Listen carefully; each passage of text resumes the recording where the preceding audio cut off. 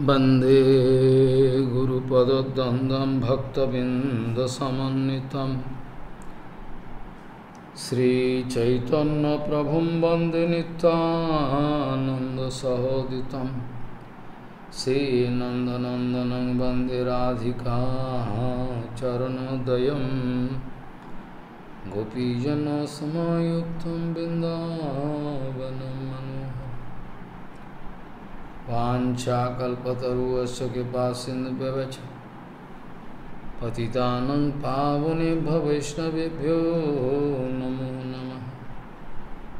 मूकं करोति वाचालं पङ्गुं लङ्घयतगिरिं यत्कृपातमहं वंदे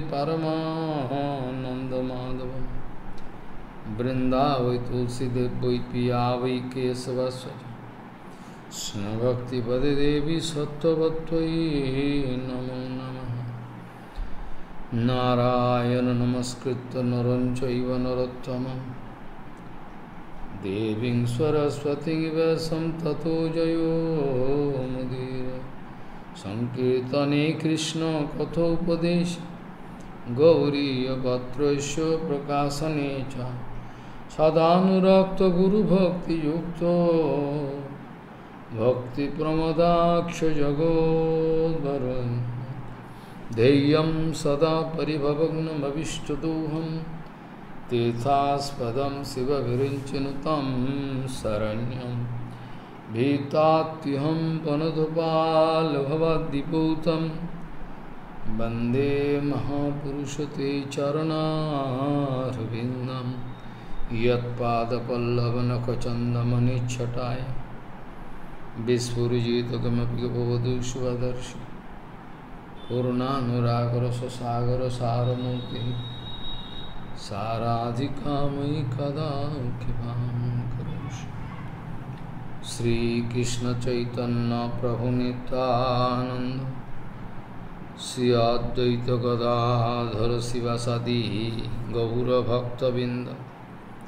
श्रीकृष्ण चैतन्य प्रभु नित्यानंद श्रियाद्वैत गदाधर शिव सदी गौरभक्तबिंद हरे कृष्ण हरे कृष्ण। कृष्ण कृष्ण, हरे हरे। हरे राम हरे राम। राम राम हरे हरे। आजानुलम्बितभुजौ कनकाबुदातो सङ्केतनैकवितरो कमलाशताक्षो। विश्वाम्बरौ द्विजवरौ जुगधर्मपालो वंदे जगत्प्रियकरो करुणावतारो हरे कृष्ण हरे कृष्ण। कृष्ण कृष्ण, हरे हरे। हरे राम हरे राम। राम राम, हरे हरे। नमामि गङ्गे तव पादपङ्कजम् सुरासुरैर्वन्दितो दिव्यरूपं भुक्तिं च मुक्तिं च ददासि नित्यं भावानुरूपेण सदा नरानं गङ्गातरङ्गरमणीयजटाकलापं गौरी निरन्तरविभूषिः त्ववामभागम् नारायणो प्रियमनङ्गमदापहारं वरानसिपुरपति भजवीशनाथं वागीशजुष्वदने लक्ष्मीर्यस्य च वक्षसि यस्यास्ति हृदयसंवि त्वं सिंहमहं भजे।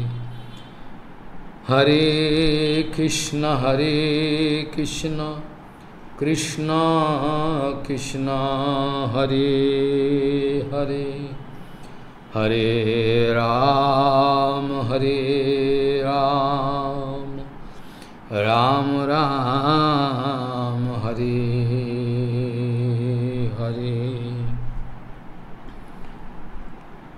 दुर्लभ मानुषं जन्म देहिनां क्षणभङ्गुरं। तत्रापि दुर्लभं मन्ये वैकुण्ठप्रियदर्शनम् दुर्लभं मानुषं जन्मो देहिनां क्षणभङ्गुरः। तत्रापि दुर्लभं मन्ये वैकुण्ठो प्रियदर्शनम् गौरी गोष्ठीपति श्रीशिल भक्ति सिद्धांत सरस्वती गोस्वामी ठाकुर प्रभुपाद जगत गुरु जी ने बताए, जो लोग अपराकृत दिव्य ज्ञान का मिसयूज करने के लिए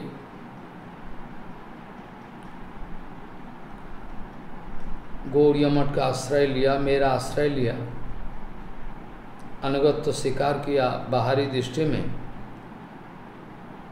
ये लोगों के साथ मेरा कोई संबंध नहीं मठ का गौरिया मठ का कोई संबंध, कोई लेना देना नहीं है। गौरी गोष्ठीपति श्री शिल भक्ति सिद्धांत, सरस्वती गोस्वामी ठाकुर प्रभुपाद जगत गुरु जी ने बताए, जो लोग अपराकृत दिव्य ज्ञान का मिसयूज करने के लिए गौड़ी मठ का चैतन्य मठ का आश्रय ग्रहण किया है अपेक्षित दृष्टि में अनुगत्व स्वीकार किया है। वे लोगों का साथ गौरिया मठ का कोई संबंध नहीं है। कोई लेना देना नहीं। सिर्फ़ शिला प्रभुपात कह रहे हैं, जैसे नदी पार करने के लिए किश्ती का ज़रूरी है, बोट का ज़रूरी है। एक मजदार चलाने वाले ये भी ज़रूरी है। ऐसा माफ़ी कि गुरु का भी ज़रूरी है। नहीं तो लोग क्या बोलेगा? गुरु नहीं है। नदी पार करने के लिए जैसे किश्ती का ज़रूरी है, उसमें मजदार का भी ज़रूरी है, जो चलाए बोट को। ऐसा आइडिया लेके कोई गुरु, अरे गुरुकरण भी ज़रूरी है, गुरु ग्रहण करना भी ज़रूरी है। ऐसा विचार, सस्ता विचार लेके जो सब लोग मेरा सामने आया, मेरे को गुरु बोल के ग्रहण किया, सच पूछो तो ये लोग मेरे को कभी देखा ही नहीं। सच पूछो तो ये लोग कभी भी मेरे को देखा नहीं। अरे महाराज, आपके दिखा लिया, हमको देखा ही नहीं मैं भी ये लोगों का साथ कोई संग किया नहीं। क्योंकि ये सत्संग करने का लिए तो आया नहीं। और जीवन में जितना दिन बाकी रह गया है, मेरा ज़िंदगी में जो, जिस, जितना दिन रह गया है बाकी, मैंने तैयार कर लिया, ये लोगों का कभी भी संग नहीं करेंगे। हो सके कि ये लोग पहले से ही कपटता हंड्रेड परसेंट करके नहीं आया होगा। ऐसा नहीं कह रहे कि वो लोग कपट बाप लेके आया। वो भी सकता कि हंड्रेड परसेंट कपट भाव लेके नहीं आया ये सब सारे के सारे कपट भाव लेके पूर्व पहले से ही आया है। ये नहीं मैं, ये मेरा बोलने का इच्छा नहीं। लेकिन फिर भी बाद में गुरु वैष्णव चरण में अपराध किया है। ये तो पक्का बात है। नहीं तो कपट भाग पहले भी, पहले अगर नहीं था, बाद में हुआ होगा। गुरु वैष्णव चरण में अपराध करने का साथ साथ कॉन्सियसनेस डिग्री ऑफ़ कॉन्सियसनेस चेतन भाव का, चेतना का ह्रास कमती हो जाता। अब अपना ज़िंदगी में कैसे सोचोगे कि मेरा भजन हो रहा है कि नहीं हो रहा है? पोपा जी ने बताया कि आपका भजन हुआ, हो रहा है कि नहीं हो रहा है? आपका भक्ति हो रहा है कि नहीं हो रहा है? इसका प्रमाण तो आप खुद है। बोले, कैसे? बोले, जितना परिमाण आपका अपराकित गुरु वैष्णव प्यार होगा, सेवा करने की इच्छा होगी इतना proportionate according to that ratio आपका भजन राज्य में प्रोग्रेस हो रहा है। वो बात बोले, एक एक साधक जो है, खुद इसका विचार कर सकता है। देखे, अपना मन में, मन ही मन विचार करके देखे, क्या मैं गुरु वैष्णव चरण में कितना प्यार हुआ मेरा, कितना श्रद्धा हुआ, कितना भक्ति हुआ। कितना भक्ति हुई। ऐसा विचार करके देखे। तो अकॉर्डिंग टू दैट प्रोपोर्शन वो भजन राज्य में प्रोग्रेस हुआ है। ये विचार, पक्का विचार है साइंटिफिक विचार है। मैं ये नहीं कह रहा हूँ कि पहले से हर आदमी कपट भाव लेके आया है। यह भी हो सकता है कि कपट भाव छुपा हुआ है, आया है। लेकिन ये तो पक्का है कि बाद में गुरु वैष्णव चरण में अपराध करने का बाद इसका डिग्री ऑफ़ कॉन्सियसनेस चेतना का जो विकास होनी चाहिए, उल्टा हो गया। चेतना का ड्रॉप हो गया, कम हो गया। इसके लिए इसी इसी कारण हरि भक्ति से वो डिवेट हो गया और पुनः सांसारिक विषय में उलझ गया। सांसारिक जो लेना देना है, पैसा है और जो कुछ भी है, शरीर और शरीर के साथ जुड़ा हुआ जितना सब उसके, उसका उसका अंदर में ये संसार का वासना फिर से जागृत हो गए। जब हम लोग गुरु वैष्णव का साथ तर्क का पंथा शुरू कर दे, बाबा जी ने विचार करके दिखाया तर्क पंथा से अपराकित गुरु वैष्णव अंतर्ध्यान हो जाते हैं। जब हम तर्क करना शुरू कर दे तो गुरु वैष्णव का जो महिमा है अपरागिक वो तुरंत उस जगह से गुरु वैष्णव, भगवान अंतर्ध्यान हो जाते हैं। जहाँ लॉजिक है, जहाँ तर्क है और टर्केशन है, तर्क विवाद है उस जगह भगवान भगवान का भक्तों और भगवान भगवान का भक्तों, गुरु, इन लोगों का अंतर्ध्यान हो जाता, परम सत्य वस्तु। गोपा जी ने कहे, बहुत बार, ये तर्क पंथा से तर्क पंथा से अपराकित सत्य वस्तु अंतर्ध्यान कर लेते हैं। इसीलिए अपराकित सत्य वस्तु का विषय में कोई तर्क नहीं चले। श्रद्धा शब्द कहे शुद्धिर विश्वास। श्रद्धा का माने हैं, सुदृढ़ विश्वास, सु। सु माने सुंदर। कोई उसमें डाटी भाव नहीं है, सुंदर। सुदृढ़ो, उसका बाद बहुत सुदृढ़ो। दृढ़ माने अत्यंत जिसका रिजिडिटी ज़्यादा है।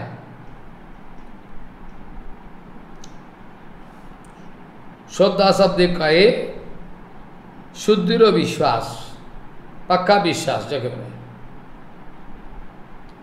जब हम लोग हमारा मेटेरियल बुद्धि लेकर अक्षज ज्ञान लेकर, गुरु वैष्णव भगवान शास्त्रों का विचार को नापने जा रहे हैं, कोई अगर जाए नापने तो उस समय वो सत्य वस्तु अंतोध्यान हो जाते हैं।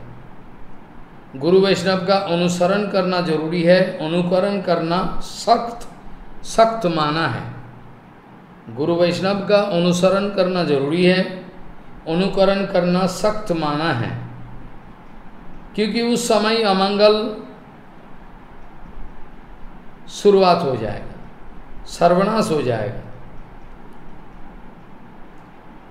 तमाम दुर्बुद्धि दुष्ट बुद्धि छोड़कर सर्वांगीण रूप से गुरु चरण में आत्मसमर्पण करने से, जिस समय हम आत्मसमर्पण करें, उसी समय हमारा मंगल का रास्ता खुल जाएगा। और अगर हमारा मानी पावर है अर्थो अर्थो बल है, हमारा विद्या बल है, हमारा एफिशिएंसी ज़्यादा है, योग्यता है, हमारा पांडित्य है हमारा बहादुरी है, हम बहुत सारे टेक्निक जानते ये सब जो गर्म है, ये सब गर्म भाव ये प्रभात कह रहे हैं कि भगवत भक्त का ये सब ज़रूरी नहीं है। ये हमारा अर्थों का बल है, विद्या बल है, या तो योग्यता एफिशिएंसी बहुत कुछ पांडित्य है, बहादुरी है, हम बहुत कुछ जानते हैं। टेक्निक ये सब जो गर्म है ये गर्म भाव से, अभिमान से, भगवत भक्तों जो है, दूर रहते हैं। कहने का मतलब है, भगवत भक्त का ज़िंदगी में ये सब चीज़ कोई ज़रूरी नहीं है। ये लोग सोचते हैं, ये सब चीज़ क्या करे? कोई ज़रूरी नहीं। अगर गुरु सेवा में ये सब लगे प्रॉपरली अगर फल को भी है, अभिमान है, गुरुचरण में सेवा करने का बहाना है, तब तो कुछ नहीं फल मिले। तब तो उल्टा फल मिले। भगवत भक्तों का ज़िंदगी में ये सब अनवांटेड एलिमेंट्स कोई ज़रूरी है नहीं। क्यों? अगर इसका घुमंड आ जाए तो उस समय पक्का तैयार कर लो, यूँ समझ लो कि उस समय गुरु वैष्णव को लंघन करने का, उसका उसका आदेश, उसका आचार आदर्श को उल्लंघन करने का हमारा अंदर में एक एक अभिमान पैदा हो वो बात कह रहे हैं, उस टाइम जिस समय ये सब चीज़ों का अभिमान मेरा अंदर में भरपूर है अर्थो विद्या योग्यता, पंडित्व, बहादुरी, ये सब भगवत भगवत, भक्तों का ज़िंदगी में कोई ज़रूरी चीज़ है नहीं। क्योंकि ये सब आने का साथ साथ गुरु वैष्णव को अपमान करने का, उल्लंघन करने का इग्नोर करने का एक भाव अंदर में आएगा। ये अपराध बढ़ते चलेगा।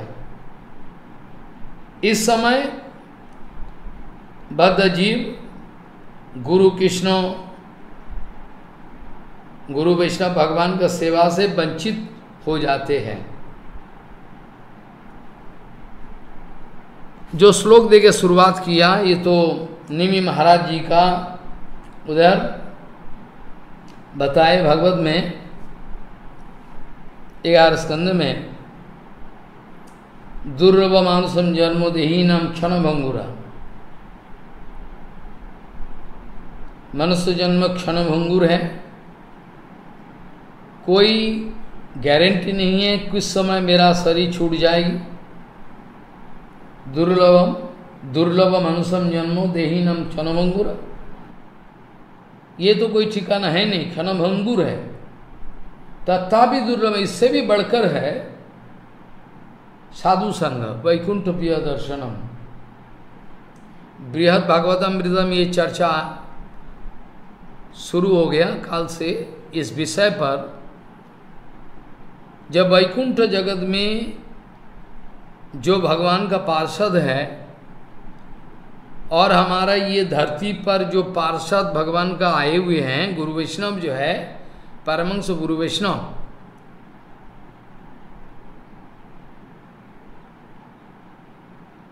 इन दोनों में कोई अगर भेद समझने जाए तो गलती हो जाए अपराध। वैकुंठ जगत में जो भगवान का पार्षद है और जो यहाँ परमंश गुरु वैष्णव जो है, जो भगवान का कथा में, कीर्तन में झूमते रहते हैं हर वक्त, अपना शरीर का शोध बोध कुछ नहीं है। ये दोनों में कोई अंतर नहीं है। बाहरी दृष्टि में वो वैकुंठ जगत में है आज ये गुरु वैष्णव बाहरी दृष्टि में इस जगत में है। लेकिन शास्त्र का विचार है, परम गुरु वैष्णव जो है, परमांशु गुरु वैष्णव जहाँ विराजमान रहते हैं, उसी जगह वैकुंठ जगत आ जाते हैं। उसी जगह। इसलिए इन दोनों में कोई अंतर नहीं है, ये समझ के रखना। शरीर तो क्षणभंगुर है ही है उससे भी सबसे बड़ा गंभीर चीज़ है तत्रा भी दुर्लभम मन्य वैकुंठ प्रिय दर्शनम। सत्संग होना, साधु का साथ, भेंट होना, और होने का साथ साथ समझना कि ये साधु है, ये भी बड़ा बात है। भक्तिमंत्रा कह रहे हैं कि ऐसा भी हो सकता है कि साधु का साथ भेंट नहीं हुआ। मैंने असाधु को साधु समझा यह अपराध है। ऐसा भी हो सकता है, पक्का साधु का दर्शन हुआ, फिर भी हम समझ नहीं पाए कि ये साधु है, कि इसका अंदर में कोई दिखावा नहीं है। हम समझ नहीं पाए, महाराज, ऐसा हो सकता है। दोनों ही बहुत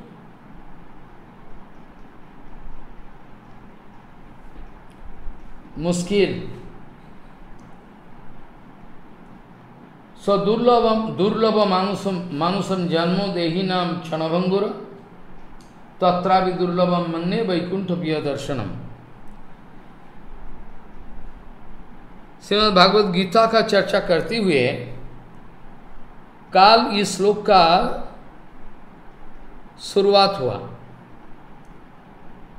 ये श्लोक बड़ा इंपॉर्टेंट है, इसमें कुछ विशेष बात श्रवण कीर्तन के बारे में कैसे कोई अत्यंत साधारण आदमी जिसका कोई कुछ नहीं है, कोई ना तो तत्वज्ञान है, कुछ नहीं है, कुछ नहीं है, कुछ जानता ही नहीं कुछ। सिर्फ़ गुरु वैष्णव का वाक्य पर सिर्फ़ गुरु वैष्णव का आदेश पर भरोसा रखते हुए, परिपूर्ण विश्वास रखते हुए आगे बढ़ते हैं। और धीरे धीरे गुरु वैष्णव का मुखारविंद से हरि कथा सुनते सुनते सुनते सुनते ना जाने कैसे एक एक जादू टोना जैसा हो गया। और उसको ल, उसको लगन लगने उसका भगवान के चरण में लगन लगने लग गया। याद है ना पहले चर्चा किया था मालिनी वृंदावन में मालिनी भक्तिमती गरीब लड़की।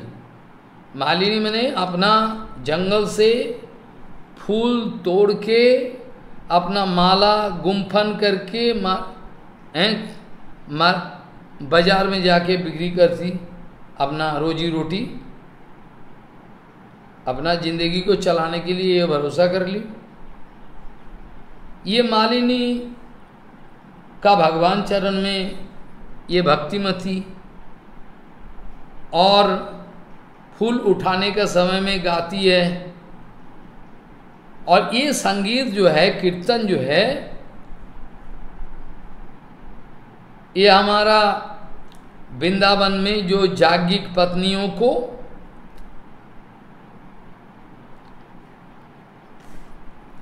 एक कीर्तन जो है सुनने को मिली है। संग भी हो। इसका बारे में बड़े, बहुत सुंदर श्लोक भी हैं। भगवान खोद कहे, ये लोग का कुछ नहीं है।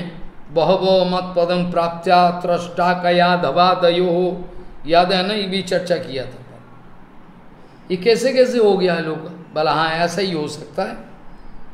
भगवान ने भी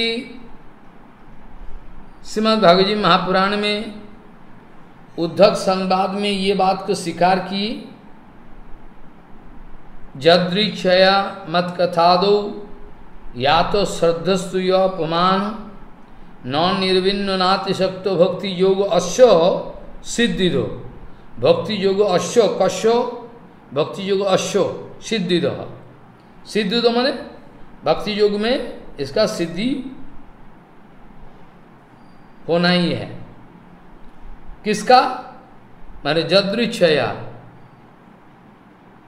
न जाने कैसे कैसे जदृक्षया मत कथा दो। हमारा कथा में लगन लग गया। श्रद्धा आ गया। श्रद्धा। जदृक्ष जदृक्षया मत कथा दो। या तो श्रद्धस्तु या अपमान। नौ निर्विन्न नाति शब्द विषय में बिल्कुल घृणा भी नहीं है, और विषय में कुछ खिंचावट भी नहीं है, आकर्षण भी नहीं। चलो, ठीक है। न। निर्विन्न अगर किसी विषय में मेरा घृणा है तो ये समझ लो कि इस विषय में वीक पॉइंट है। प्रभुपात के समय में भी ऐसा बहुत सारे घटना है। एक घटना हम कहे बाग बिहार गौड़िया मठ में है बहुत प्रभुपात का जमाने में। एक ब्रह्मचारी, एक गृहस्थ व्यक्ति को, वो गृहस्थ व्यक्ति अपना बच्चा को गोदी में लेके आई, दोनों पति पत्नी, और ब्रह्मचारी को रहनी, ब्रह्मचारी को वो रहा नहीं गया, बहुत गुस्सा हो गया, और ना जाने क्या क्या ना जाने क्या क्या कहना शुरू कर दी? पोपात का कानों में ये शब्द गया, पोपात बोले, ये तो भक्त नहीं बनेगा, ये जल्दी चला जाएगा, इसका अंदर में वीक पॉइंट है। इसका अंदर में खोद वीक पॉइंट है, इसीलिए इतना गुस्सा अपना ज़िंदगी में भी देखा। जो ब्रह्मचारी, जो सन्यासी गृहस्थ व्यक्ति को जितना घृणा किया पचा गृहस्थ प्रचा गृहस्थ बोला वो ही फंस गया ज़्यादा। वो बोलते रहा प्रचा गृहस्थ पचा ये एकदम। सड़ा हुआ गृहस्थ हो। ऐसा मज़ाक उड़ाते थे। अब बाद में देखा गया, वही गृहस्थ हो गया। इसीलिए जिस विषय में मेरा घृणा है, नफरत है इस विषय में जाने में अनजाने में इसका इस विषय में ज़रूर कोई वीक पॉइंट है। ये सिम्टम जो है अच्छा नहीं। तो, तो छया मत कथा दो या तो श्रद्धस्तु अपमान जिस जीवात्मा का जिस आदमी का हमारा कथा में बड़ा शुद्धा पैदा हो जाता है। और उसका विषय में भी घृणा नहीं है और खिंचावट भी नहीं है। भगवान कह रहे हैं कि ये लोगों का लिए भक्ति योग सिद्धि दिलाने वाले। भक्ति सिद्धि रहेगा। पच्चीस नंबर ये श्लोक जो है, काल उठाया था इस बात को, अन्य तु एवं अजानत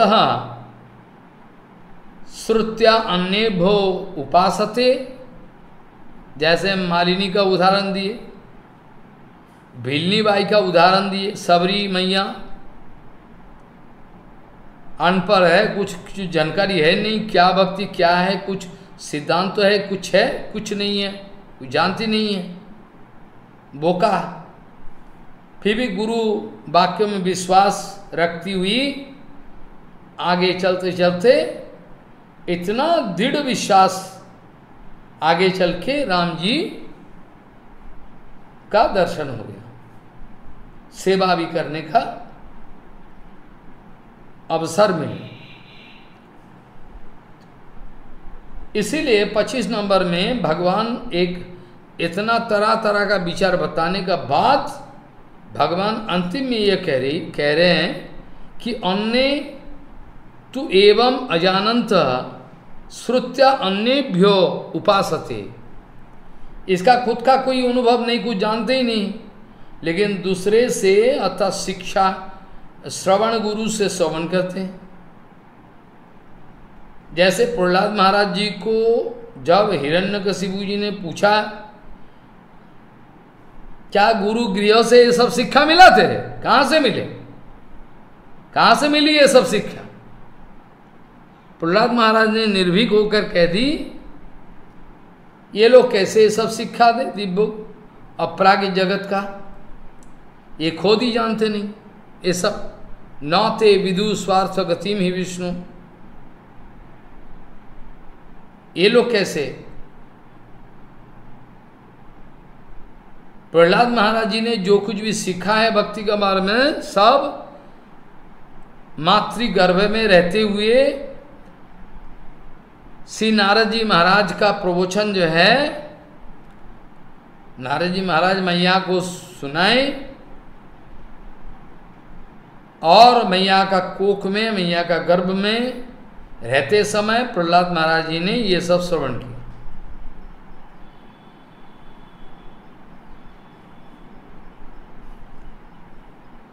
हिरण्य कशिपु जब पूछे, ये गुरुकुल से ये सब मिला तेरे को शिक्षा कहाँ से मिला? कहाँ से मिली ये सब शिक्षा कहाँ से मिली?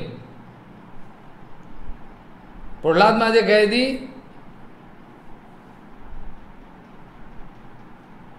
न ते विदु स्वार्थ सार्थ गतिम ही विष्णु। दूराशया जे बहिर्थमान अंधा यथंदी रूपनीयमानम तीव्रतम मुरुदाम निभाते तो ये जो अन्यभ्यो इसका मतलब ये समझो मत कि इन किसी उल्टा पल्टा कोई आदमी से कुछ सुना, ऐसा नहीं। उपदेशक गण उपदेशक मन माने उपदेश जो कर रहे हैं, उसका खुद का आचरण है। बहुत पहले ये सब चर्चा हुआ था, जो उपदेश कर रहे हैं, खुद अपना ज़िंदगी पालन नहीं कर रहे हैं, इसका उपदेश का असर अक्सर किसी को ऊपर नहीं पड़े। उल्टा होगा। उपदेशम करती एवं, जो उपदेश करते रहते प्रवचन करते रहते हैं, उपदेशम करती एवं, न परीक्षाम करती जो जो उपदेश ज़रूर करते हैं, लेकिन अपना ज़िंदगी में, जीवन ज़िंदगी में जो उपदेश कर रहे हैं, वो सब विषय को अपना ज़िंदगी में पालन करके नहीं देखें। ये लोगों का जो उपदेश है, अक्सर दुनिया के लिए बहुत हानिदायक है, हानिकारक है। उपदेशम करतीव न परीक्षा करती अपरीक्ष उपदिष्टम जद जगत नाशय तद्भवेद जो उपदेश करता है, अपना ज़िंदगी में पालन नहीं करता, ऐसा उपदेश जो है जगत के लिए हानिदायक है, हानिकारक है। उपदेशम करती एवं, जब परीक्षा न करती। उपदेशम करती एवं, न परीक्षा करती जो। अपरीक्ष उपदेष्टम जो। अनटेस्टेड जो उपदेश है, अपना ज़िंदगी पालन करके नहीं देखा। अपरीक्ष उपदेष्टम जब जगत नाशाय तद जगत को नाश करेगा। तो यह जो भगवान कहे कि अन्य तू एवं अजानंतो श्रुत्या अन्यभ्यो उपास थे ये अन्यभ्यो यहाँ ज़रूर भगवान ने कहा है। उपदेशक, याद है ना प्रभुपात का जमाने में प्रभुपात अपना भक्त लोगों को ये गौर पूर्णिमा का समय में विश्व वैष्णव राजसभा का तरफ़ से एक एक किस्म का टाइटल उपाधि आजकल तो उपाधि दूर की बात है हरिकथा कोई बोले बोले बंद कर दे इसको सुनना नहीं उल्टा प्रचार शुरू कर दी प्रभुपात का योग प्रभुपात कहते थे जो बांग्ल बांग्ला में कहते थे इसको लिखा है किताब में छपा है ভালো যদি না করতে পারি মন্দ করতে পারি এখন কি দিবি বল बांग्ला में। मैं अच्छा नहीं कर सकता, बूढ़ा कर सकता। अब कहो कि कितना प्रणामी दोगे। पोपात का कहना है। तो ये कर नहीं सका, वो नुकसान नुकसान करेगा। They can undo. ऐसा स्थिति पैदा हो गया। उस जमाने में प्रभात का समय, बाद में तो खैर चलो प्रभात का चरण में अपराध करने का कारण सारे उल्टा पलटा हो गया। पहले ऐसा नहीं था, पहले शुरुआत उस समय में एक एक भक्त लोगों को भोपाद ऐसा उपादेश देते थे। जैसे परम पूजा केशव कुशी महाराज जी, विनोद बाबू को, विनोद प्रभु को कृति रत्न उपदेश की किसी को महोपदेशक किसी को महामहोपदेशक किसी को आचार्य देशिक अलग अलग सब उपाधि देते थे। उसका साथ एक तो वर्ड्स लिखते थे, कविता। जैसे हम वंदना में कहते हैं ना, गुरु जी का, वो प्रभात से मिला हुआ। ये उपदेशक जो है यह लिखा हुआ है अन्वय में, जो अन्यभ्यो, इसका प्रभुपाद जी भक्तिमोहन ठाकुर जी ने ये माने किया है शास्त्रों का कहाँ कौन अर्थ है, ये तो इन महाजनों का हृदय में अपने आप प्रकटित हो जाते अन्यभ्यो मीन अन्नो उपदेश दूसरा जो अन्यभ्यो मतलब उपदेशक जो है, जिसका पास ये भक्त तो सुनते रहते हरि कथा उपदेशक का मतलब है ज़रूर इसका आचरण है। नहीं तो उपदेशक, ये शब्दों नॉट एप्लीकेबल अगर इसका आचरण नहीं है तो उपदेशक जो ये जो टाइटल है, इसका लिए एप्लीकेबल नहीं है। बहुत दिन पहले, आज नहीं, बीस बीस, पच्चीस साल पहले सुना था, एक दफे, एक किताब में, या तो किसी ने बोला, याद नहीं है, लेकिन ये ज़रूर। मुसलमान बादशाह अकबर बादशाह जी इसके जे प्रधानमंत्री प्रधानमंत्री जी अकबर बादशाह को थोड़ा रिक्वेस्ट किए, मेरा जो लड़का है बहुत मिठाई खाता है। थोड़ा आप थोड़ा उसका साथ बात करो तो डर के मारे वो बंद कर सकता। अब बोला, इतना मिठाई नहीं खाना, थोड़ा इसे बोलना नहीं तो मर जाएगा। बहुत हर वक्त मिठाई खाते रहते हैं। तो अकबर बादशाह जी कहा कि एक काम करो, पंद्रह दिन बाद आना। बोले, काहे? बोले, बाद में बोलेंगे। पंद्रह दिन बाद आओ। पर लड़का को लेके आना। पंद्रह दिन बाद लेके आए। तो अकबर बसानी ने बहुत एकदम गंभीर होके बोले हे बेटा, इतना मिठाई नहीं खाना, तबीयत खराब हो जाता है। जी सरकार नहीं खाएँगे। बस हो गया। कमती कर दी। बाद में ये प्रधानमंत्री जी पूछे बना आप पहले क्यों नहीं गए पंद्रह दिन पहले? तो पहले कह देते ये। बोले, महाराज, कहले कहले कैसे कहते? पहले मैं खुद ही मिठाई खाता था। बहुत मीठे खाता था। इसलिए मैं भी अपना तरफ़ से चेक किया, बंद कर दिया। और इसका बाद मैं उपदेश, जब जड़ जगत का देखो ये मेटेरियल जगत का है। मैंने उदाहरण याद है अभी भी। हैं? ये मेटेरियल जगत का है। फिर भी वो बोले, जो, उपदेश देने का पहले मेरे को खुद को पालन करना है। तो ये जो है अन्य भ्यो इसका मिसयूज नहीं करना, ये शब्दों का। तरह तरह का कमेंट्री होता है ना, गीता का। हज़ारों हज़ारों किस्म का। कोई कुछ कहे, कोई कोई कोई कुछ कहे, करके निकाल दिया, बस, ये था।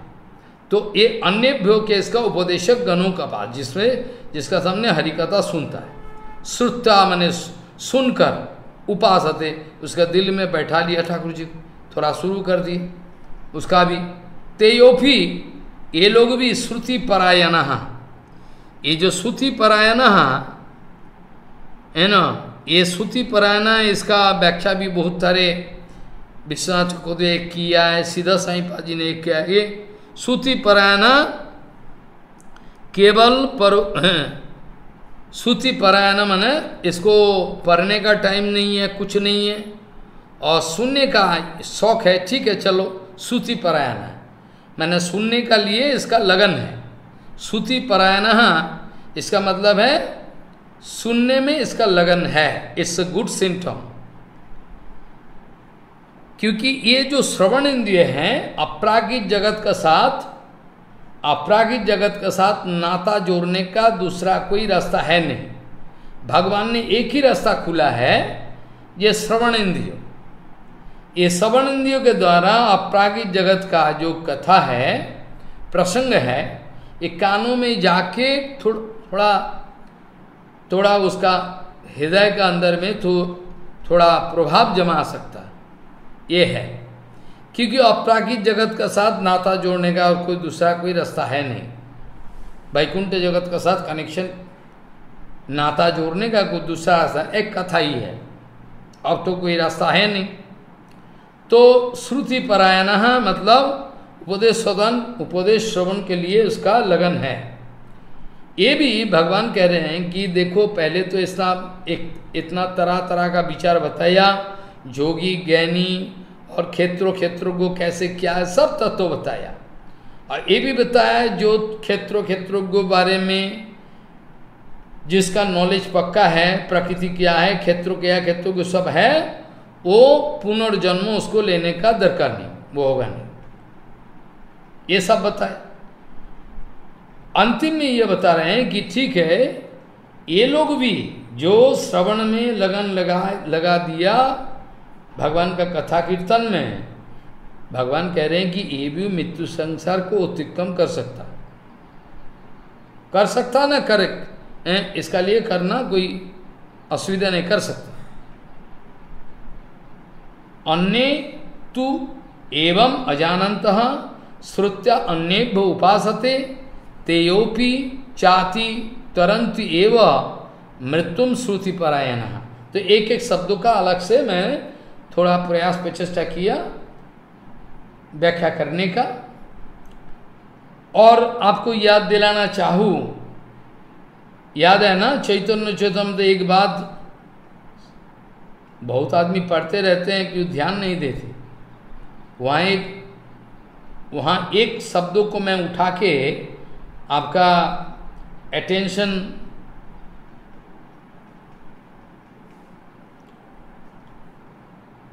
यहाँ जो है, चैतन्य चैतन्य में जो लिखा हुआ है, जेबा किछु ना जाने के हो, जानीते ना सुनीते सुनीते ते हो कि अद्भुत चैतन्य चरित। याद है ना? जेबा किछु नहीं जाने मतलब कृष्णदास कविराज जिसमें कह रहे हैं, जो लोगों कुछ मालूम ही नहीं, कुछ जानता नहीं, जेबा किछु ना जाने के हो अगर कोई आदमी कुछ जानता ही नहीं, सुनीते सुनीते से हो, वो सुनते सुनते उसका हालत बदल जाएगी। सुनीते सुनीते ते हो कि अद्भुत चैतन्य चरित। भगवान कृष्ण का, भगवान कृष्ण चैतन्य, महाप्रभु चैतन्य, महाप्रभु का चरित ऐसा है, अगर कुछ जानकारी नहीं, चलेगा। लेकिन सुनते सुनते सुनने में लगन लग गया बात सुनते सुनते उसका बेड़ा पार हो सकता। उसका बेड़ा पार हो सकता है उसमें कोई मुसीबत है नहीं।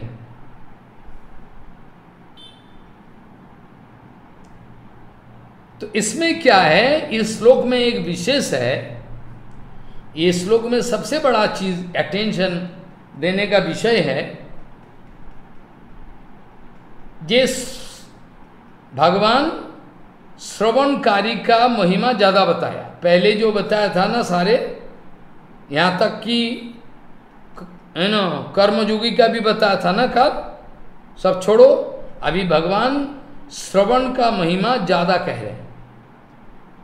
इस श्लोक का विशेष अटेंशन ये है, विशेष इसका विचार ये है कि इसमें भगवान का कहने का मतलब है श्रवणकारी का महिमा अतिशय भावे प्रकाशित हो। बिग वे श्रवण भक्ति का जो महिमा, क्योंकि श्रवण नहीं होने से कीर्तन भी नहीं हो पाए। इसलिए श्रवणम कीर्तनम, विष्णु स्वरणम जब भी ये तीन एक लाइन में है। श्रवण कीर्तन शरण, एक तीन एक लाइन में है, फिर भी फ़र्स्ट प्रायोरिटी फ़र्स्ट प्रायोरिटी दिया गया श्रवण। क्यों? अगर महाराज श्रवण ही नहीं हो तो कीर्तन होने का सवाल ही नहीं। मैंने गुरु जी से गुरु वर्गों से सुना है, जब आगे चल के आपका आदेश लेकर हमारा वाणी सेवा का प्रयास प्रचेष्टा अगर सुना नहीं होता तो कैसे बोलते? ये सौ तो बनता है। कोई फिलोसोफर है कि ड्राई फिलोसोफर कह सकता है घंटों भर। लेकिन ये तो हरि कथा का बराबर नहीं है। He can speak hours but that can never be compared with Hari कथा। ये हरि कथा का तुलना नहीं हरि कथा है डायरेक्ट फीलिंग हरि कथा मतलब वो जो समझा हृदय में अनुभव किया, उसी को उगल रहे। ये समझनी चाहिए। जो जब भी श्रवण कीर्तन स्मरण जब भी एक ही प्लेटफॉर्म पर ऑलमोस्ट फिर भी श्रवण का सबसे बड़ा सम्मान किया। इसलिए नवोदय वक्त में श्रवणम कीर्तन श्रवण नहीं है तो कीर्तन होने का कोई बात ही नहीं है। परीक्षित महाराज जी, सुखदेव गोस्वामी महाराज के सामने लगातार day and night non stop Bhagwat कथा श्रवण किए। विष्णु श्रवणे परीक्षित अभवत बैयास की कीर्तने। फॉलो, प्रहलाद स्मरणे। ये सब नवविद्या भक्ति के एक एक आचार्य है ना अलग अलग आचार्य हैं। तो परीक्षित का नाम श्रवण भक्ति का आचार्यों का नाम पे आता है। और ये वास्तव रूप में ये सचमुच आचार्य हुआ कि नहीं? कैसे प्रमाण है? बोले प्रमाण ये है, ये ये साबुत है, प्रमाण ये है कि ये भागवत कथा को लगातार सात दिन से शोभन करने का बाद गुरु जी का आरती उतरे और कहे गुरु जी मैं आभारी हूँ।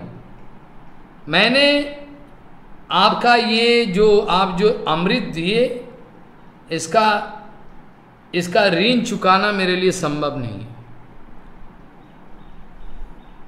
कितार्थोस्मी अनुगृहितोस्मी भवता यत करुणात्मन, श्रावितो जच्च में साक्षात अनादि निधनम हरि।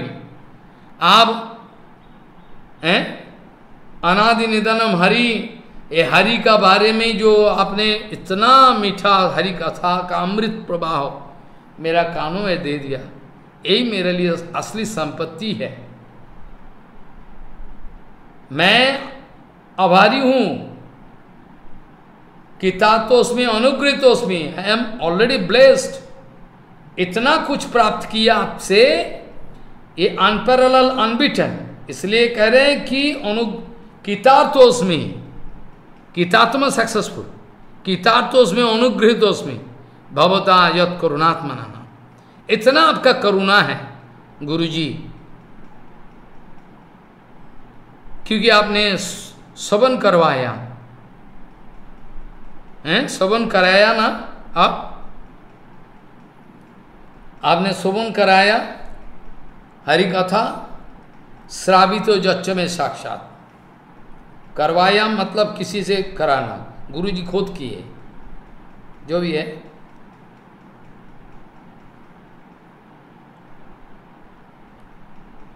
अनादि निधनम हरि। ये जो है, ये श्रवण, कीर्तन, स्मरण, विचार करके देखे तो तीन एक लाइन में होनी क्योंकि जो श्रवण कर रहा है, श्रवण करने का साथ साथ उसका नाम है श्रवण नहीं किया हुआ तो उसका लिए कीर्तन संभव नहीं और श्रवण कीर्तन नहीं है तो स्मरण का कोई सवाल ही नहीं आता। क्योंकि किस चीज़ का स्मरण करे? श्रवण कीर्तन होने का बाद उसका बाद स्मरण। तो भगवान यहाँ श्रवणकारी भक्तगुंडों का जो महिमा को दिखाए इसका महिमा प्रकाश किए हैं। और चैतन्य चरितमिक प्रमाण तो हमने दे दिया पहले।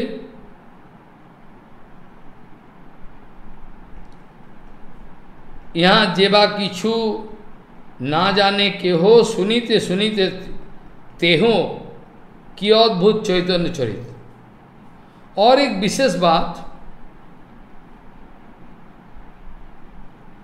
यहाँ बोलना ज़रूरी है, ये जो तेओपी च अति तरंत एवं यहाँ जो च च व्यवहार किया ना, ये जो चौ शब्द व्यवहार किया, चौ मैंने वो, ये जो चौ शब्द व्यवहार किया, ये बलदेव विद्याभूषण का कहना है,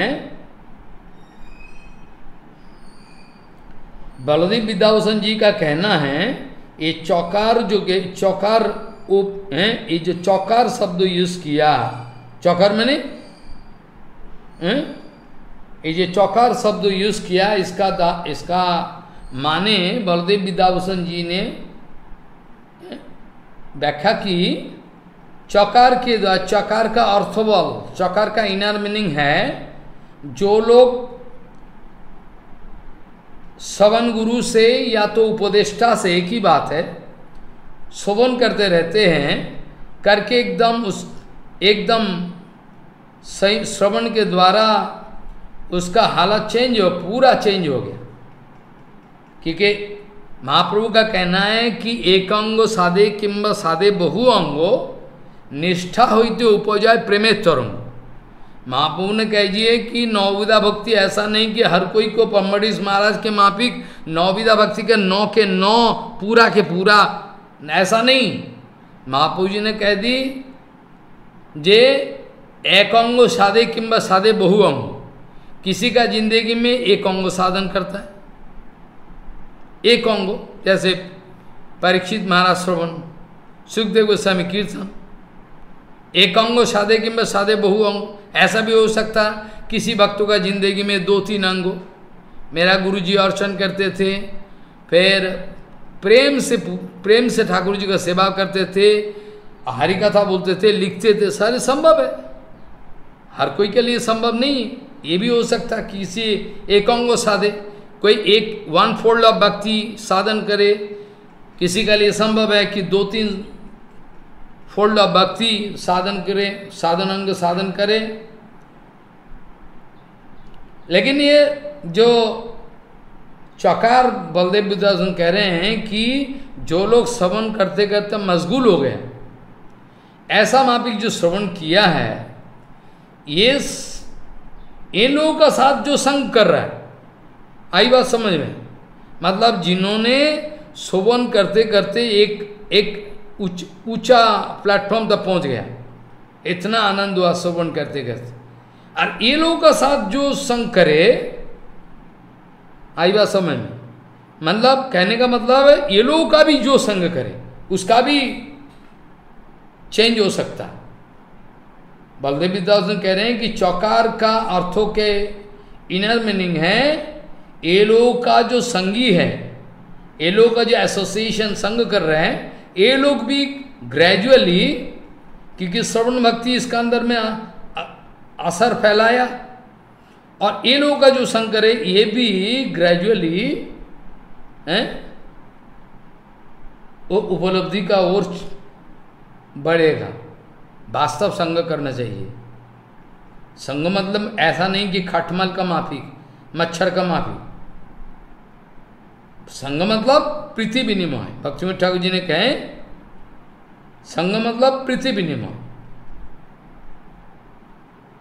ऐसा करते करते ये उपलब्धि का ओर बढ़ेगा। ये भी लग जाएगा, लगने, इसका भी अच्छा लगेगा। हरि कथा कीर्तन। और ये भी मृत्यु का जो, यू नो, मृत्यु का जो ये संसार संसार रूप मृत्यु रूप जो संसार है, इसको अतिक्रमण करके जा सकता है। ये लोग का संग जो करता है, ये लोग भी क्रमे क्रमे gradually they can also get some realisation and वो भी सुनने के लिए तैयार हो जाए और ये भी मृत्यु संसार सागर को पार करके जा सकता है। इसके द्वारा ही बलदेव विद्याभूषण जी ने खुलासा कर दिया कि ये ये जो शब्द चकार, ते ओपी, च अति तरंती एवं मृत्युम श्रुति परायण इसके द्वारा भगवान कथा श्रवण, कथा कीर्तन को श्रवण करने का महिमा का उत्कर्ष, इसका जो महिमा का प्रकाश किए है। चलो ठीक है। आगे का श्लोक में जाकर 26 नंबर श्लोक में भगवान कह रहे हैं कि जावत संजयते किंचित सत्यम, स्थावरो जंगमम, क्षेत्रो क्षेत्रो संयोगा तद्विधि भरतर सब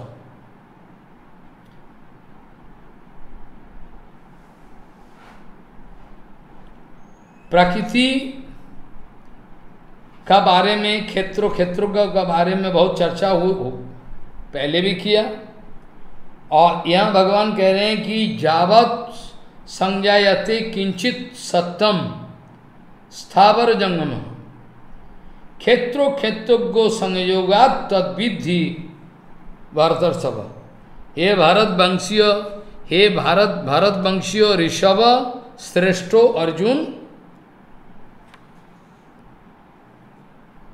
जो कुछ भी तुम्हारा दिखाई पड़ता है, नहीं पड़ता है, सो कुछ भी, जो कुछ स्थावर जंगमात्मक प्राणी, स्थावर और जंगमात्मक जो कुछ भी दिखाई पड़ रहा है तुम्हारा सामने, ये समझ लेना कि तत्समुदाय क्षेत्रों क्षेत्रों का संयोग से हुआ है।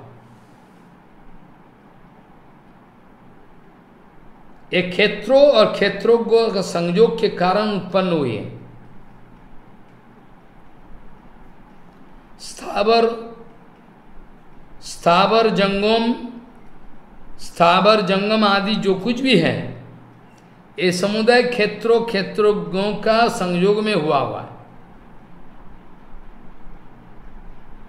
अनादिकाल से प्रकृति और जीवात्मा चिन्मय जीवात्मा जो है, प्रकृति और जीवा परस्पर संयुक्त तो रहते आ रहे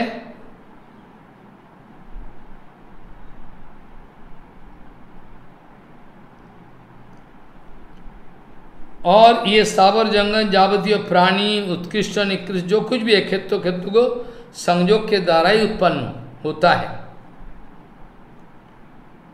प्रकृति का साथ क्षेत्रों जीव का संबंध से हुआ है। जैसे एक उदाहरण दे भागवत का, भागवत में चौथा स्कंद में ग्यारह अध्याय पंद्रह नंबर श्लोक में लिखा हुआ है, भूतोई पंचभीर पंचभीर, हैं, आरब्धर, योषित पुरुष एव ही तयोर व्यवायात संभूतिर यशित पुरुषयोरी रिहो।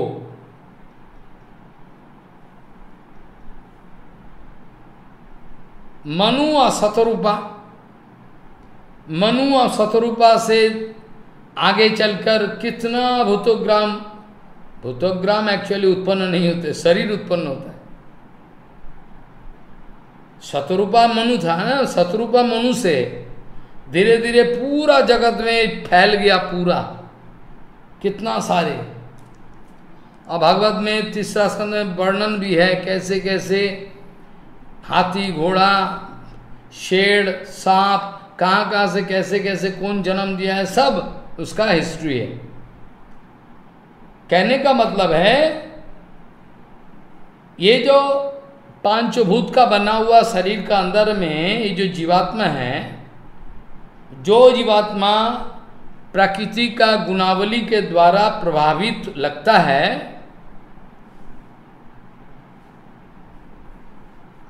पंचभूत का शरीर में बदल जाना यह पाँच भूत है ना, मैया का कुक में ये पाँच भूत धीरे धीरे धीरे धीरे इस फिटास उसका बाद पूर्णांग शरीर, उसका बाद जन्म पैदा होता है। ये पांचभूत धीरे धीरे देहो, शरीर रूप में जन्म लेता है सेंस ऑर्गन एवरीथिंग सब विचार करो तो प्रकृति का उपादान है। एकमात्र जीवात्मा जो है, इसका साथ उसका लेना देना फिर भी उसका कर्मफल का अनुसार फंस गया। और काल भी व्याख्या किया। शरीर प्रकृति का है और आत्मा अंदर में है। आत्मा पूर्व कर्म, फल के अनुसार भूतों का माफ़ी कम कर रहा है। जैसे पिता पिसाची पाइले यथा मुचित छन्न है प्रकृति का प्रभाव के द्वारा संचालित है। जीवात्मा का जो संस्कार है, ये शरीर में बैठा हुआ है। ये प्रकृति का सत्रजतम गुण का प्रभाव के द्वारा परिचालित है। अभी सुबह में देखा दोस्ती है। दो आदमी में। दोपहर का टाइम में लग गया लड़ाई धूम धड़ाका अरे, कैसे? तो ऐसा ये जो तत्वज्ञानी पुरुष है, वो ये सब लड़ाई झगड़ा काटा पीटी देखने के बाद हँसते रहते हैं। प्रकृति क्रिया मानानी को अनुभव करते रहते हैं।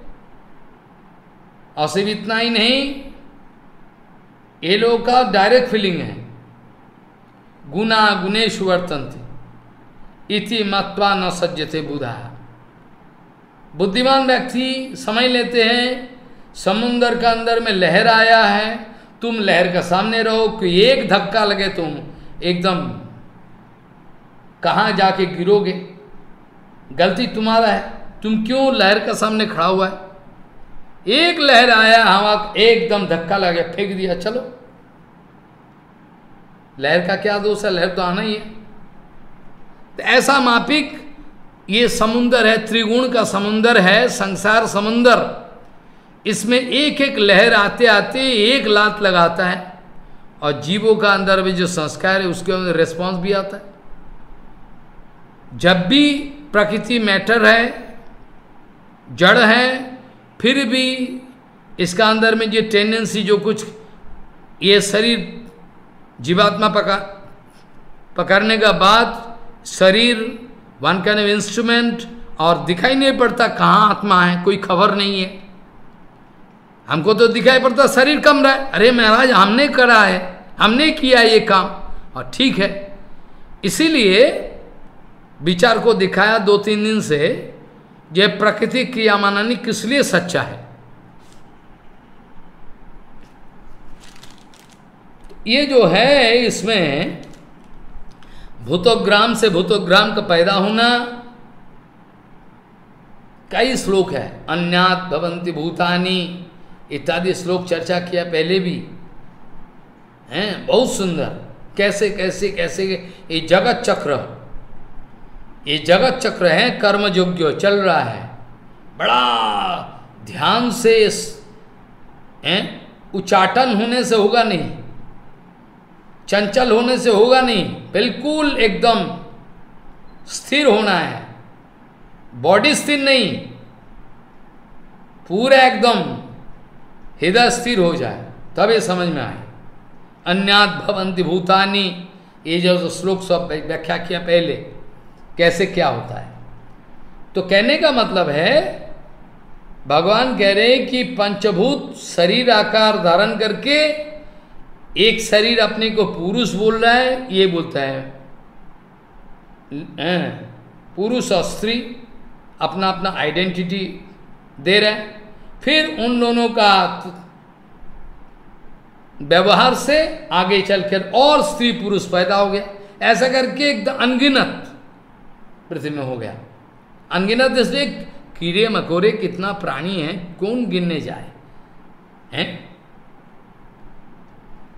सो so, भागवत में ये है भूतोर ना भूतोई पंचभीर आरब्धर यशित पुरुष एव ही।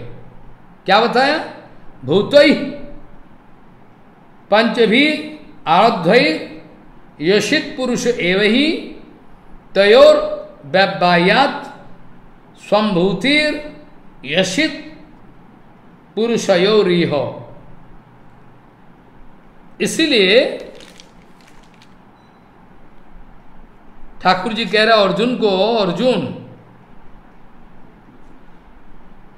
यहाँ तक कि पुराण में भी है कैसे कैसे पहाड़ से पहाड़ से, पहाड़ों का भी वो पहले पंखा था। पंखा थी। उड़ के बाद में लिखा हुआ है कि इंद्र महाराज वज्र के द्वारा इसका सारे पंखा काट दी तो द्रोणाचल पर्वत का लड़का है, एक गिरिराज महाराज। तो गिरिराज महाराज सच्चा की उसका लड़का है, लिखा हुआ है। ठीक है।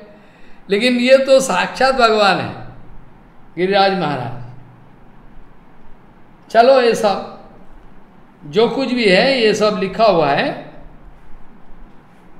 ये जावत संजायते किंचित सत्यम। इस जगत में कोई भी सत्व का पैदा हुआ दिखा जाता है। यावत संजायते किंचित सत्यम स्थावर जंगम क्षेत्रो क्षेत्रोज्ञ संयोगात। हम्म। तद विधि भारतर्षभ क्षेत्रो क्षेत्रोज्ञो ये जो इसका जो संयोग है, क्षेत्र क्षेत्रों के इसका संयोग के द्वारा ये सब दुनिया बसा हुआ है, चारों ओर। ये बात समय, तत्वज्ञान अनुभव होने से ये तो सामने आए, नहीं तो कैसे क्या हो रहा है तो किसी को कितना सुनने के बाद भी ध्यान नहीं दिया। अनुभव में भजन करना चाहिए। सुनने का साथ साथ भजन करने से अनुभव में आए। केवल श्रवण करने से क्या होगा? तो सत्ताईस नंबर श्लोक में आगे चलकर कह रहे हैं समम सर्वेशु भूतेषु तिष्टंतम परमेश्वरम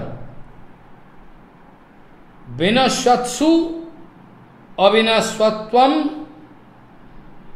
या पश्यति, सपश्यति। सर्वेशु भूतेषु, सब भूतग्राम का अंदर समम इक्वली तिष्टंतम अवस्थितो। है? विनत सत्सु बिना सत्सु मन विनाश विनाश विनाशील जितना सारे प्राणी हैं, क्या वस्तु है? कुछ भी है। हैं? विनाशाली गणों का अंदर में। अविनश्वत्वम अविनाशी। जो परमेश्वर परमात्मा का रूप में विराजमान है, या जिनी, ऐसा जो दर्शन करते रहते हैं, उसका दर्शन पक्का दर्शन है, परफेक्ट दर्शन है। उसका दर्शन माया का दर्शन नहीं है। तमाम दुनिया का दर्शन माया का दर्शन है। नहीं तो लड़की देखता है, लड़का देखता है, टट, चारों क्या देखता है? लेकिन ये शरीर का अंदर में परमात्मा जो नासवान शरीर है, जिसका बारे में शुरुआत में कहा था ना, दुर्लभ मानुषम जन्मो देही नाम खन भंगुर ये तो बताया। लेकिन ये बताया ठीक इसका इसका अंदर में ये अनुभव होनी चाहिए, ठीक है दुर्लभ मनुष्य मनुष्य जन्म दुर्लभ है, फिर भी क्षणभंगुर है, मान लिया। लेकिन हर शरीर का अंदर में जो विराजमान भगवान है, ये तो नासवान नहीं है। कहने का मतलब है, तमाम माया का द्वारा विरचित एक एक शरीर का अंदर में जीवात्मा बैठा हुआ, परमात्मा बैठा हुआ है। शरीर छूटने वाला है, छूट जाता है। लेकिन परमात्मा का कोई विनाश नहीं है। और परमात्मा का अंश जो है ममई वंश जीव लोग जीव तो सनातन, जीवात्मा जो है चिन्मय, इसका भी विनाश नहीं। ये जो जिसका दर्शन पक्का है, ये एक एक पक्का तत्वदर्शी का दर्शन नहीं है। आ, मोटा दर्शन क्या है, ये लड़की है, लड़का है, ये हाथी है, घोड़ा है, ये है। तो भगवान का कहने का मतलब है समम सर्वेशु भूतेषु तिष्टंतम परमेश्वरम विनस्वसु अविनस्वत अविनस्वंतम यह पश्यति सपश्यति। तमाम नाशवान शरीर का अंदर में, परमात्मा का रूप में, जो भगवान बैठा हुआ है और परमात्मा का अंश जीवात्मा जो है कोई भी नाशवान नहीं। ये तत्व का बारे में जिसका पक्का जानकारी है ये ये सम, यूँ समझो यूँ समझ लो कि ये तत्व समझा है। ये तत्व उसका समझ में आया है। ये कह सकते हो।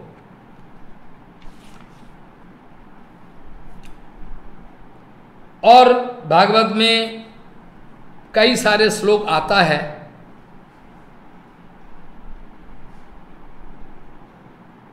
एक नंबर अध्याय में, पहला अध्याय में, पहला स्कंद में, भागवत में आता है। ग्यारह अध्याय में। एतद ईशनम ईशस्य प्रकृतिस्थ ओपी तदगुणई न जुजते सदात्मस्थर यथा बुद्धि तदाश्रय। क्या माने हैं? एतद ईशनम ईशस्व प्रकृतिस्थ ओपी तदगुण न जुजते माने? ये ईश्वर का ईशिता। ये जो ईश्वर है, ईश्वर का ईशिता। ईशिता ना? ईश्वरत्व। ईश्वर का ईश्वरत्व तो कहाँ है? ईश्वर का ईश्वरत्व तो कहाँ है? जिसका बारे में बार बार मैं चर्चा किया, जीवों को बात का। और जो अक्षज वस्तु अदक्षज वस्तु, है? ये जो अदक्षज वस्तु, इसका जो ईशिता कहाँ है? पहले ईशिता का मतलब है, इसका पावर कहाँ है? ये प्रकृति का अंदर में हर जीवों का शरीर का अंदर में परमात्मा का रूप में रहते हुए भी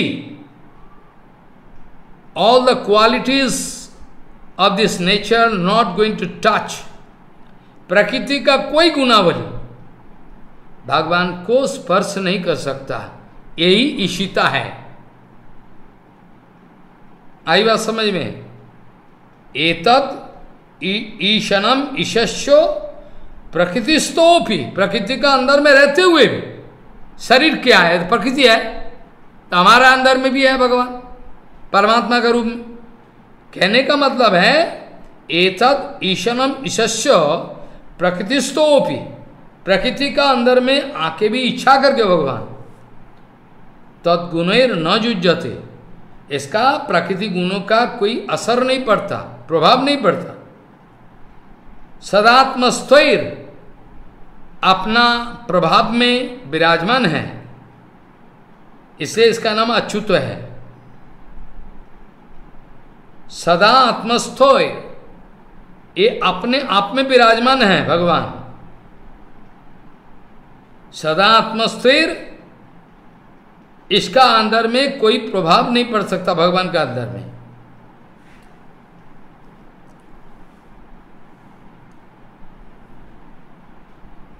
चैतन्य चौथामित में भी है।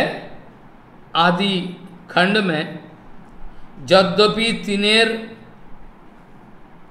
माया लोया व्यवहार तथापि तत्स्पर्श नहीं सबे माया पार आई बात समझ किसका बारे में बोला? किसका बारे में बोला? चैतन्य चौथा में चैतन्य चौथा में ये बात उठाया। यद्यपि तीनेर, ये तीनों का यद्यपि ये प्रकृति लेके इसका व्यवहार है फिर भी प्रकृति का कोई प्रभाव माया लेकर इसका कारोबार है। इसका कारो का, इसका जो कारोबार है सब माया को लेकर। फिर भी माया का कोई बूंद भी स्पर्श नहीं है गंदगी नहीं सबे माया पार।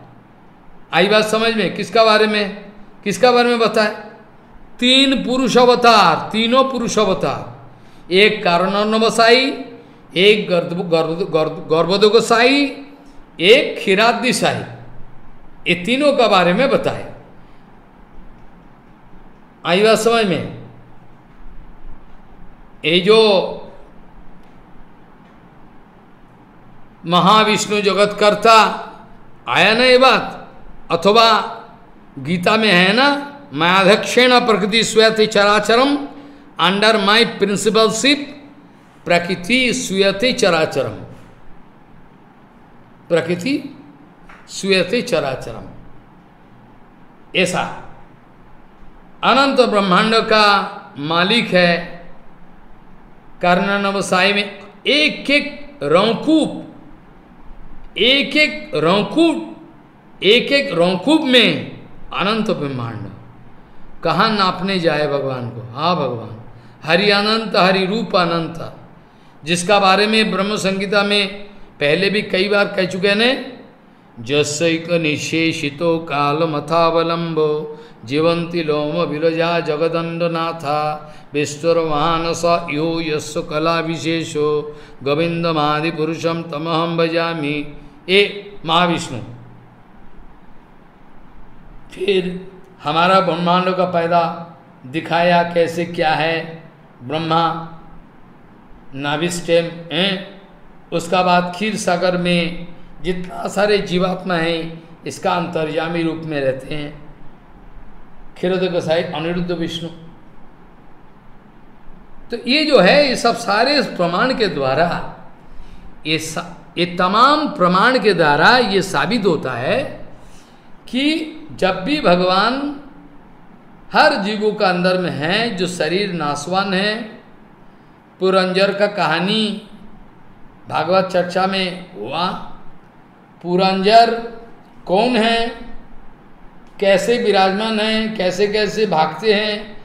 विषय का और पुरंजर का कहानी सुने, ध्यान से। दिमाग खोल खोल जाएगा।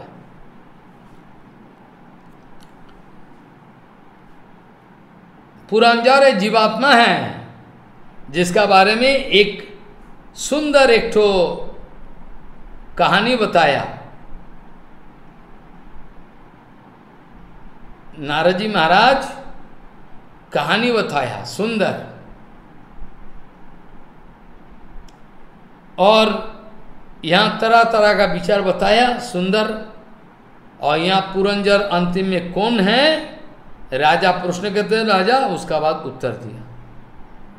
राजन बोल रहा है कि हमको समझ में नहीं आ रहा। है अब इतना कॉम्प्लिकेसी है। हम बाहरी विचार में सब लगे हुए हैं। हमारा दिमाग नहीं चलता। अब थोड़ा खुलासा कर दीजिए। उसका बाद नारद जी महाराज खुलासा करके दिखाया राजन, ये कौन है? ये पुरंजर जीवात्मा है। पुरंजर एक प्रासाद देखा। एक हवेली। एक सुंदर हवेली दिखा। हिमालय का तराई अंचल में। अरे अच्छा शरीर है, इसका अंदर में घुस गया।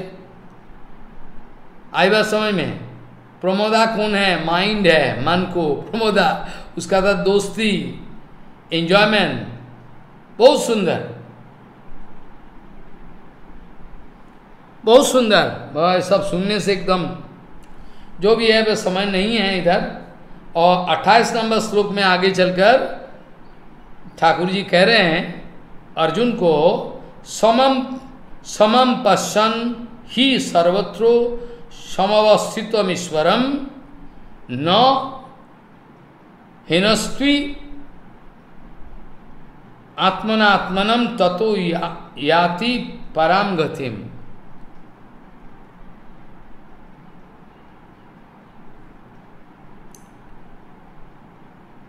समम पश्चन ही सर्वत्र समवस्थित ईश्वरम आगे वाला श्लोक में भी ये व्याख्या किया। भगवान हर जीवों का अंदर में विराजमान परमात्मा, समम, समान रूप में, समम पश्चन सर्वत्रो समवस्थित ईश्वरम सर्वभूत में, समान भाव में भगवान परमेश्वर को जो दर्शन कर सकता है। कहने का मतलब है, शरीर को ये हाथी है गोरा है सुंदरी लड़की है, ये सब विचार नहीं। विचार ये बनेगा, जब भी ये शरीर पर के रखा है, लेकिन ये शरीर रहने वाला नहीं है। आ, ये शरीर के अंदर में जीवात्मा बसा हुआ है, बसे हुए हैं, परमात्मा भी है। प्रकृति का ये जादू टोना है, प्रकृति का जो ये जो प्रकृति का एलिमेंट है, इससे ये शरीर बना, जिसका लिए मैं खिंचावट अनुभव कर रहा हूँ, है? और प्रकृति का धर्मों को अंगीकार करके बद्ध जीवों अनगिनत बद्ध जीव वेराइटीज ऑफ़ बद्ध जीव डाइवर्सिटी प्रकट हो गया। लेकिन ये बात पक्का है हो सके कि अलग अलग सजीव है, सब कोई का एक स्पेशलिटी है डाइवर्सिटी है। लेकिन हर शरीर का अंदर में विवेक का द्वारा विचार करो, सर्वभूत में अवस्थित, ये भगवान एक ही है। सर्वत्व समान। किसी का अंदर में ऊँचा नीचा नहीं है। डेस्पैरिटी नहीं है भगवान का विचार में।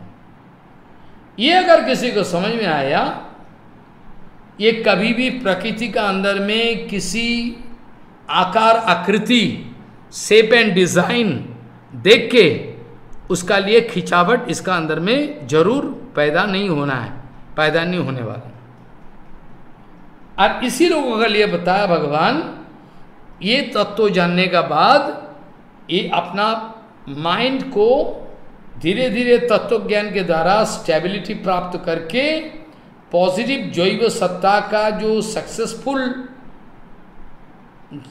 गोल है, उसी का ओर ले जाएगा। ये कभी आत्मा को गिरने नहीं देगा, क्योंकि आत्मा तटस्थ है, पहले ही बताए। दोनों ओर खिंचावट हो सकता है। तो ये जिसका अंदर में ये तत्व ज्ञान का अनुभव आया एक कभी कभी भी दूसरा उल्टा रास्ता में जाकर मेटेरियल माइंड के द्वारा अपना जैव सत्वा का मिसयूज नहीं कर सकता। आत्मा का पतन का ओर जाने का व्यवस्था नहीं कर सकता। जिसका बारे में याद है ना, ठाकुर जी बहुत बार पहले भी है ना, उद्धरित आत्मनात्मनम, याद है ना? इसका बारे में चर्चा किया? जो हर जीवों का हो सके कि डाइवर्सिफाइड जीव है।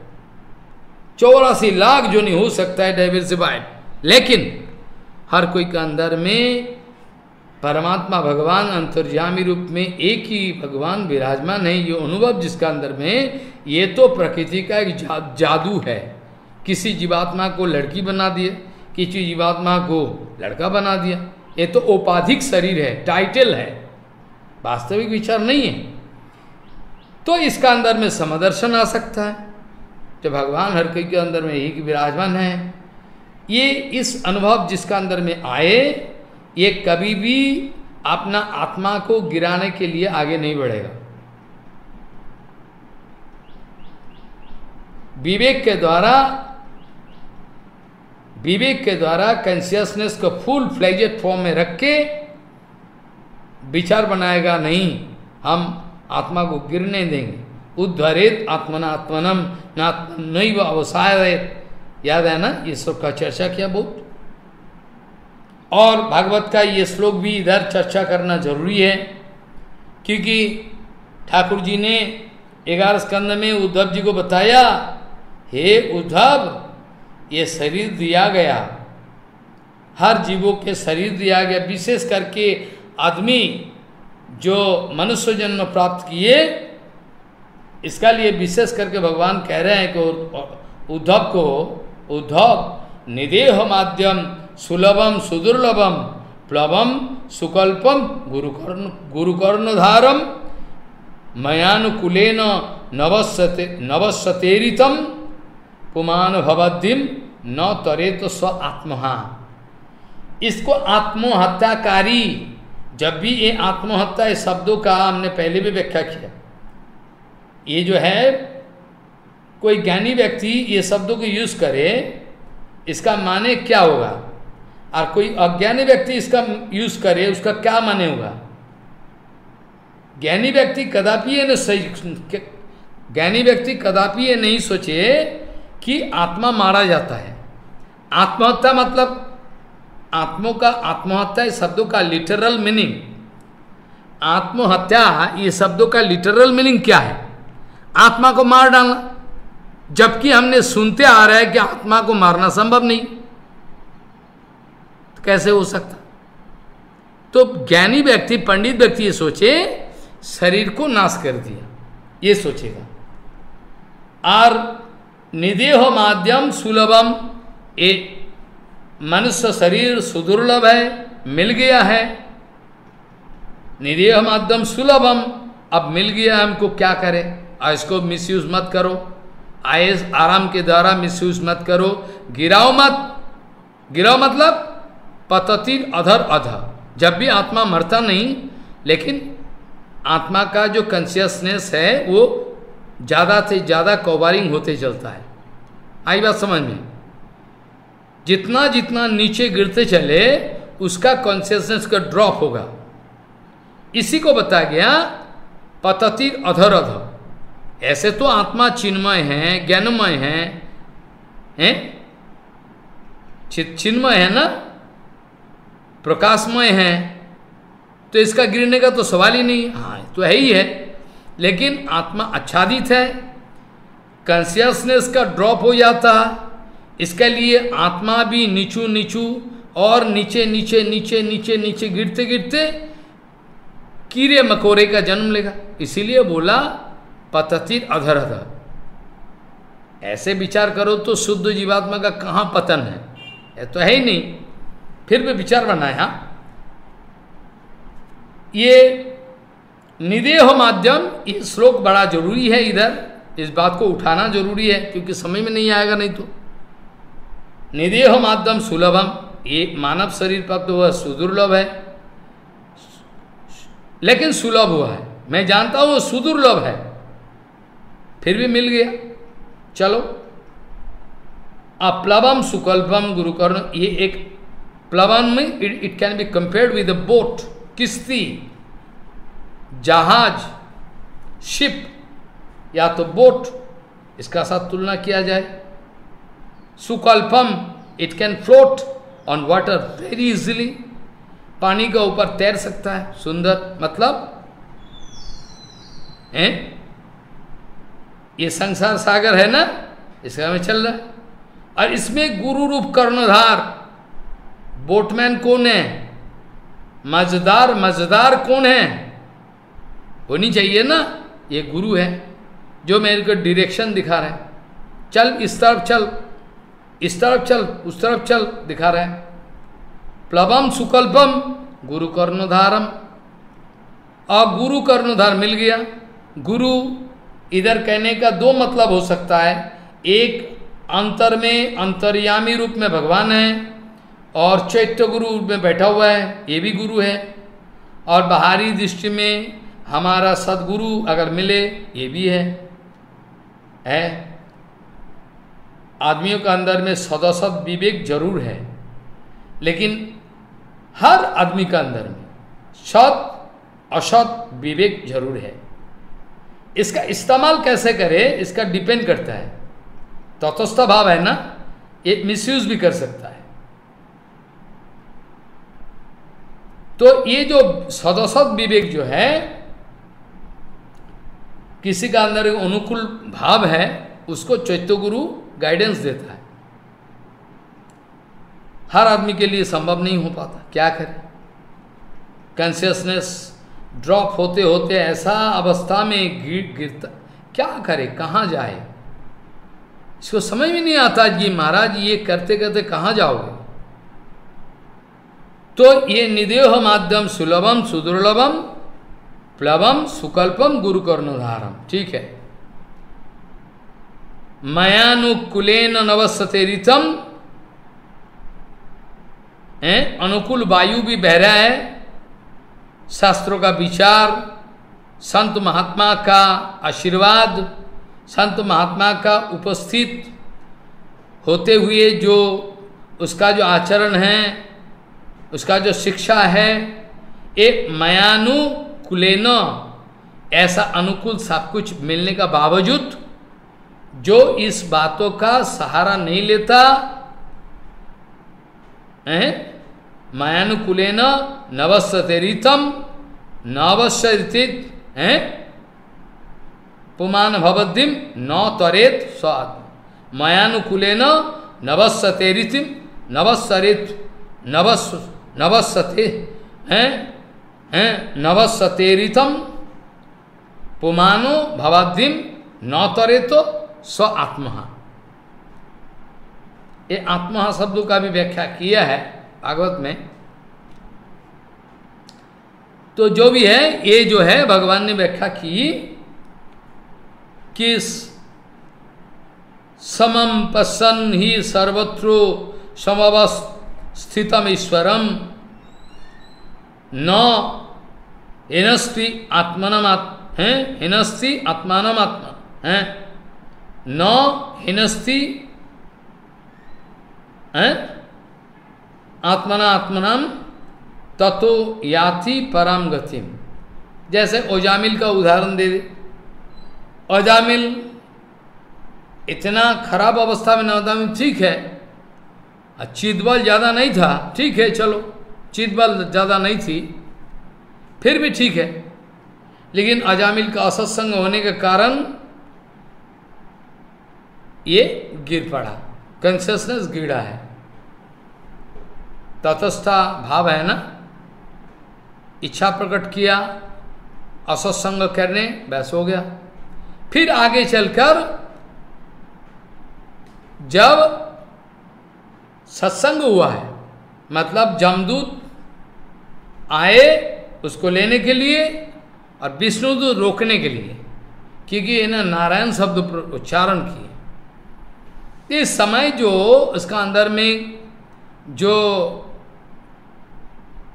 बातें हुई थी हरि कथा ये शिक्षा गुरु का रूप में अजामिल का ज़िंदगी में असर फैलाया। तो एक आगे चलकर इन्होंने आगे भजन की सत्संग हुआ, फिर भजन की, फिर छोड़ दिया, शरीर मुक्त हो गया। तो तत्स्थ शरीर, वो आत्मा को गिराया पहले, बाद में उठाया धीरे धीरे स निदेह माध्यम सुलभम सुदुर्लभम प्लवम सुकल्पम गुरुकर्ण धार मयानुकूल नवस्व तेरितम पुमान भवाद्यम न तरे तो स्वात्मा ये आत्मा को जो अगर नहीं माने, इस बात को ना पालन करे, इतना इतना सुयोग है, इतना सुविधाएँ हैं, ये जो यूज़ नहीं की तो इसको आत्महत्यारे माना जाएगा। मतलब आत्मा को गिराने वाले। उद्धरित आत्मनात्मनम, इस बात को ध्यान रखना। उनतीस नंबर श्लोक को विचार करें तो यहाँ भगवान बताए कि अर्जुन प्रकृत्व च कर्माणी क्रियमानी सर्वश या तथा आत्मनम अकर्तारम स्वपश्यति। इसका बारे में पहले भी चर्चा किया, कैसे प्रकृति क्रिया माने नहीं हो सकता। यहाँ भी इस बात को दोबारा उठाया। किसका अनुभव है? किसका अनुभव है? जो अंदर में आत्मा बैठा हुआ है, इसका कोई लेना देना नहीं है। जो ये शरीर का द्वारा चल रहा है, क्रियाकर्म, ये प्रकृति क्रिया माना नहीं माना जाएगा। आत्मा, विशुद्ध आत्मा का साथ इसका कोई रिलेशन नहीं है। जो व्यक्ति जो सर्वसहो कर्माणी कर्म समूह को प्रकृत्व एवं, प्रकृति के द्वारा संपादित, दर्शन करते रहते, पश्यति। तथा आत्मनम आत्मा को अकर्तारम। विशुद्ध आत्मा अंदर में इसका कोई ख्वाहिश नहीं, कोई इच्छा नहीं है। ये सब जड़ भूमिका का जो सब क्रियाक्रम चल रहा है, इसलिए अकर्ता जो देखते रहते ये वास्तविक तत्वज्ञानी हैं। जो पश्यति, जो देखते रहते हैं ऐसा जो प्रकृत्वो च कर्माणी क्रिय मानानी सर्वशः, य पश्यति तथा आत्मानम अकर्तारम पश्यति। जो इस बात के जिसको जो ये जो विज्ञान है, ये विज्ञान भित्तिक, विज्ञान आधारित ये जो विचार है, जो कई दिनों में कहते आ रहा हूँ, ये जिसका समझ में आया, वो देखेगा अंदर में आत्मा जो है, विशुद्ध अवस्था में इसका काम कुछ नहीं है। जीवे स्वरूप है कृष्ण नित्यदास कृष्ण का सेवा करना। जगत में जो जो हालचाल मच रहा है, क्या, किसका लेना देना है? मेरा शरीर कर रहा है। पूर्व कर्मफल के अनुसार body is acting like instrument और फिर भी इतना सूक्ष्म रूप में प्रकृति घुस गया है, मन का अंदर में, चित्त का अंदर में, सारे मटेरियल है ना, बुद्धि के अंदर में, सारे अनुप्रविष्ट हो गया। और भूतों का भी माफिक नचा रहा है। तो इसलिए देखो तो देखो, विचार करो तो करो, लगेगा प्रकृति के हमारे ठीक ही है। करने वाले तो दिखाई नहीं पड़ता। आदमी खमा खा सोचता है कि मैं करता अहम इति मन्नते। अरे तू कौन है? शरीर को दिखा रहा है। करता अहम। मैं करता हूँ, मैंने किया है। तो शरीर को अगर दिखा रहा है, आत्मा को तो नहीं दिखा रहा है। शरीर को दिखा रहा है तो प्रकृति कर्मा ठीक ही है। किसी आदमी ने कैलकाटा यूनिवर्सिटी के गेट में हमारा एक भक्त लोग बड़ा शिक्षित है, किसी स्टूडेंट ने हँसी उड़ाया, उसका तिलक देखे। तो उधर खड़ा होकर थोड़ा दो चार शब्द बोला तो एम ए पास है, अंग्रेज़ी में। तो अंग्रेज़ी में बोलना शुरू कर दिया व्हाट इज़ योर ने आपका परिचय क्या है? उन्होंने बोलना शुरू कर दिया, मेरा नाम, अरे, आपका नाम नहीं, आपका असली परिचय क्या है? आप कौन हो? ऐसा प्रश्न किया। आप कौन हो? ऐसा प्रश्न किया। तो इन्होंने बोला, मेरा नाम अजीत है ये मेरा आपका नाम तो मैंने नहीं पूछा। मैं पूछा, आप कौन हो? ये तो घबरा गया। अरे, ज़िंदगी में सुना ही नहीं, क्या बात है? तो फिर खुलासा किया। तब आगे चलकर उसका हँसी मज़ाक बंद हुआ। उसका जवाब दे दिया। देखो, आपका नाम से कोई मेरा लेना देना नहीं। आप कौन हो? ये खुद ही नहीं जानते हो। और इतना अभिमान है आपका अंदर में। जीवे स्वरूप है कृष्ण नित्य दास। भगवान का सेवा करना ही जीव का धर्म है। ये है। लेकिन ये शरीर जो हलचल मच रहा है सब कुछ, ये प्रकृति का प्रभाव के चलो, ठीक है। आत्मा है, वो भी इसलिए कि आत्मा है, जीवात्मा है।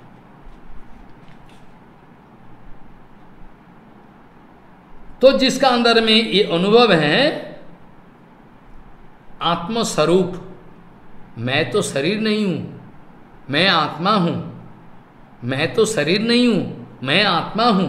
मेरा साथ तो ये सब चीज़ का कोई लेना देना है कि मैं क्यों मैं रो रहा हूँ? हैं? क्यों मैं रो रहा हूँ? भैया चला गया, पिताजी चला गया कि मैं क्यों मैं रो रहा हूँ? किसका साथ मैंने लेना था? दो दिन, दो पल का ज़िंदगी है, मुलाकात हुई, फिर चला गया। तो जब ये इसका अंदर में अनुभव आता है आत्मस्वरूप हमी आत्म आत्मस्वरूप मैं कुछ नहीं करने वाला। जो इसका अंदर में ये प्रभाव है, अनुभव है, ये वास्तविक वास्तविक तत्वदर्शी पुरुष है। प्रकृत्व च कर्माणि क्रियमानी सर्वश य पश्यति तथा आत्मनम अकर्तारम सपश्यति। आत्मा को मेरा आत्मा इसका साथ कोई लेना देना नहीं। कोई असर नहीं पड़ता तावद भयम द्रविण देह स्वीत निमित्तम तावस्पृहा परिभवो विपलश्च लोभ। ये सब श्लोक का चर्चा पहले भी हुआ था। शायद नहीं हुआ तो अगले सप्ताह में होगा, ज़रूर। ये जो भागवत में भी ये श्लोक है, हर्षो शोक, हर्ष, भय, क्रोध, लोभ, मोह मोह, स्पृहा, दयो, अहंकार दृश्यंते जन्म मृत्युश्चन आत्मन ये आत्मा का साथ कोई लेना देना नहीं। ये भागवत कह रहे हैं, ये जो तुम्हारा शोक है मुह्यमान हो शोक में, तुम्हारा हास्य आ रहा, हर्ष तुम्हारा भय आ रहा है, क्रोध आ रहा है, लोभ आ रहा है, मोह आ रहा है स्पृहा आ रहा है अहंकार। आज दिखाई पड़ता है। भागवत में कह, भागवत में ग्यारह स्कंद में लिख लिखा हुआ है, शोक हर्षो भय क्रोध लोभ मोह स्पृहादयो हो, अहंकार सदृशंते, जन्म मृत्युश्चन आत्मन आत्मा का साथ कोई लेना देना दृश्यंते जन्म मृत्युश्च। अहंकारास्तु संसारो भवे जीवस्व न शत भागवत का व्याख्या में बताया। क्या बताया? अहंकारा तू अहंकार के द्वारा ही आया है संसार में ये सब भाव प्रकृति का जो विक्रिया है ना, है? याद है ना, प्रकृति का ये सब विक्रिया है, प्रभाव है, विकार। ये शोक, हर्षो भय, क्रोध, लोभ, मोह, सब विक्रिया। अहंकारात्तु संसारो भवे जीव स्व न स्वतः जीवात्मा का साथ इसका कोई लेना देना नहीं। ये ऑटोमेटिकली होते ही चलता है। ना जाने क्या जादू है प्रकृति के अंदर में। इतना प्रभाव है, इतना कोई छुटकारा नहीं पा सकता। और अचानक अगर अहोभाग्य से प्रकृति का प्रभाव का बाहर गया तो ये सोचता है कि प्रकृति का बाहर गया तो हो गया छुट्टी कोई, जो प्रकृति का बाहर जाएगा, ये तत्व का विचार है। प्रकृति का बाहर जाके क्या कर रहा है? ये अगले सप्ताह में चर्चा प्रभुपात के ठीक है, माया जर कर लिया, ठीक है, प्रकृति, उसका बाद क्या कर रहा है? क्या कहना है इसका? क्या चाहता है ये? ये जानता नहीं कि प्रकृति जो है कुछ भी नहीं, प्रकृति का बाद भी बहुत कुछ है। माया जाय करने के बाद भगवत भजन शुरुआत होगा कि नहीं होगा? इसका बारे में अगले सप्ताह चर्चा करेंगे। क्यों ऐसा बोल रहे हो? हम लोग दुखी बन जाते क्या करेगा? झूठा बताएगा क्या? है? हाँ हाँ हाँ भजन हो रहा है, चलो, कोई बात नहीं। ऐसा बोलेगा क्या? झूठा? है? तो जो भी है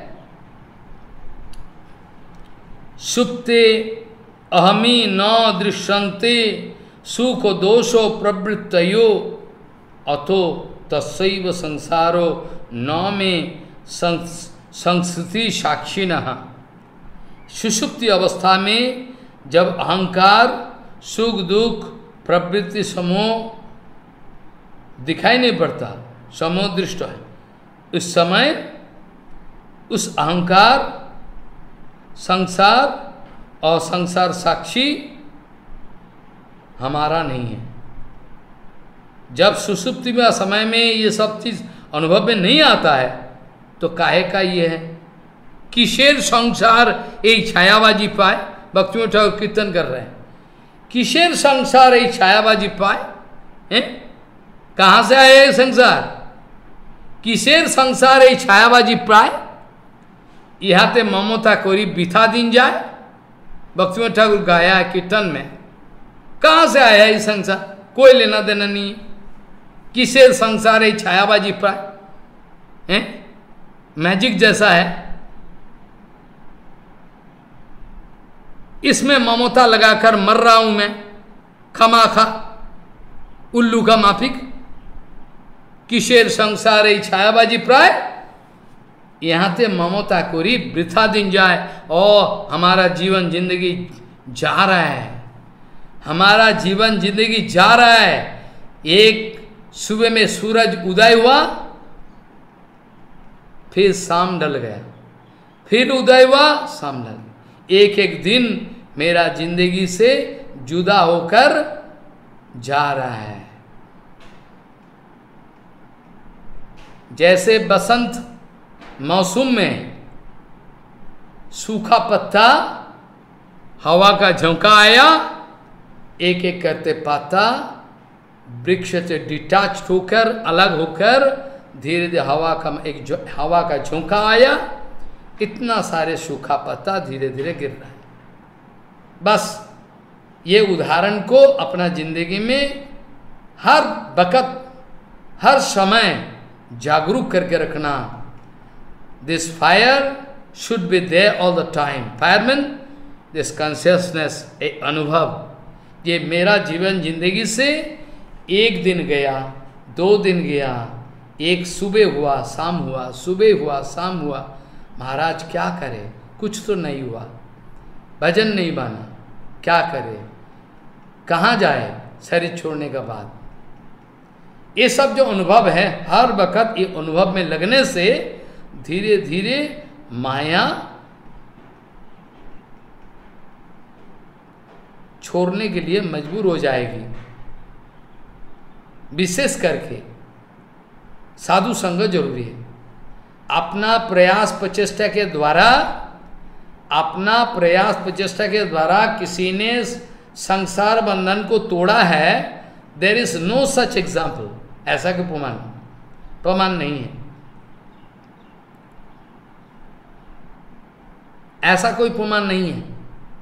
बस साधु संघ के द्वारा ही, है, माया का बंधन काटना है।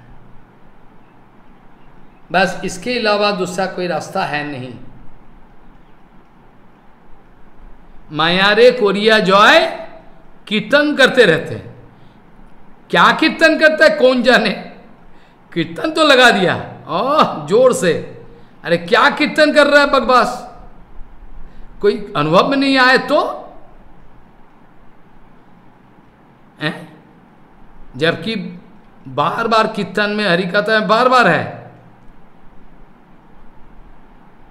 माया जाए, साधु संग के द्वारा ही हो सकता है, और कोई रास्ता नहीं। है संसार, जिनित यार वस्तु नहीं। साधु संगे कृष्ण नाम यही मात्र साधु संगे कृष्ण नाम साधु संगे कृष्ण नाम यही मात्र संसार जिनित यार कोनो वस्तु नहीं हैं मायारे कोरिया जय छाड़ानो न जाए साधु गुरु कृपा बिना ना देखी उपाय आज तक ये प्रमाण नहीं है किसी एक प्रमाण नहीं बिना सत्संग साधु संग के अलावे माया पार करके चला गया ऐसा कोई प्रमाण नहीं बस यही व्यवस्था रखा है ठाकुर जी ने। अपना स्वरूप शक्ति, अपना स्वरूप शक्ति जो भक्ति है, भक्ति का जो प्रभाव है, ये हमारा अंदर में आ सकता है थ्रू साधु। डायरेक्टली नहीं आ सकता भगवान का सर्व शक्ति का, कृपा का डिस्ट्रीब्यूट का डिस्ट्रीब्यूशन का एक तरीका है। नॉट डायरेक्टली हर वक्त, जो भी कृपा आ रहा है, भक्ति, जो कुछ भी आ रहा है, सर्वशक्ति का, ये जो कृपा, सर्वशक्ति का वित्तीय भक्ति, ये हर वक्त, ये तरीका ऐसा है, साधु संघ के द्वारा नॉट डायरेक्टली ऐसा कोई रास्ता है नहीं।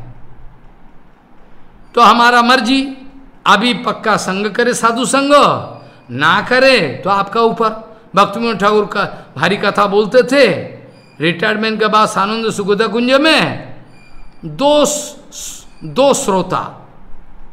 एक कृष्णदास बाबा जी महाराज सेवक है भक्ति ठाकुर का आश्रित।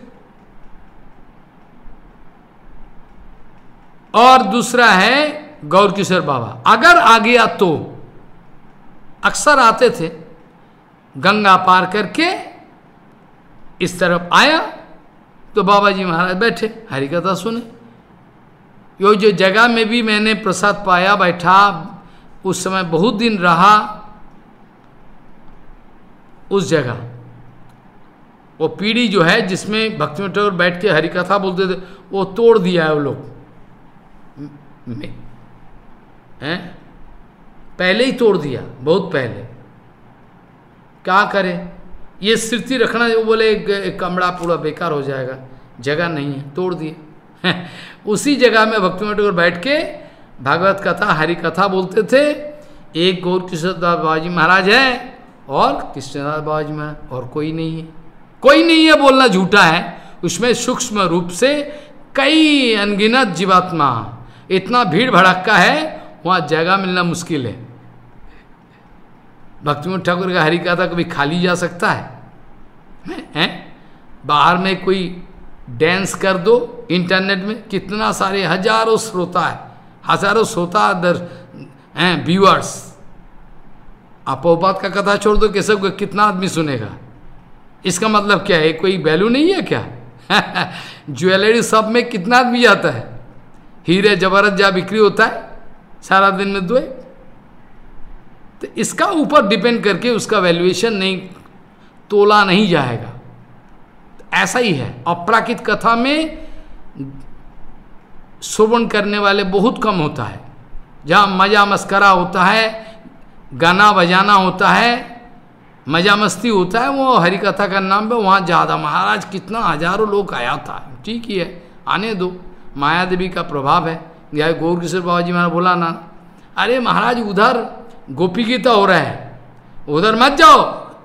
महाराज, इतना सुंदर पाठ हो रहा है। उधर मत जाओ। महाराज, क्यों नहीं जाए? इतना लोगों का प्रेम आया कि इन भूमि में लुटपुट हो जाता है। गौर किशोर उधर मत जाओ। ये प्रेम नहीं है, काम है। पैसिव काम। मत जाओ। आज वहाँ ये भ्रमण गीता हुआ था, गोपी गीता हुआ तो वहाँ माटी बीस हाथ बीस हाथ माटी खोद के फेंक दो, गंगा का नया माटी दो, उधर कंटेमिनेशन हो गया। अब हम क्या सोचेंगे? कहाँ बाबा जी महाराज का विचार? कहाँ हमारा विचार? हम लोगों का, आम आदमी का विचार। हैरान की बात है। चलो ठीक है, अगले हफ़्ता में ये सब चर्चा हो पाएगा और अगले हफ़्ता में ये सब। तो दुर्लभ मानसम जन्मो देही नाम क्षणभंगुर, तत्तापि दुर्लभम मन्ने वैकुंठ प्रिय दर्शनम। वांछा कल्पतुर्वश्य के पास सिंधु भवच पतितानंग पावन वैष्णव्यो नमो।